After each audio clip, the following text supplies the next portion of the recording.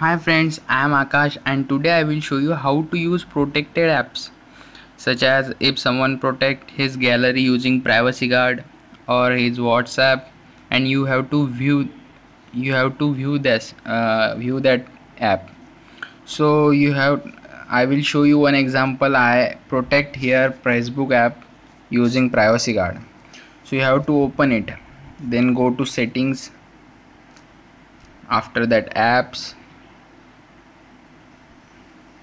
and after that go on privacy guard or app lock any app which you which uh, use for protect apps. So go on that apps.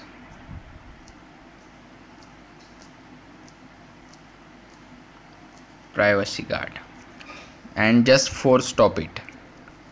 And you don't need after that you don't need any password or pattern it will open directly.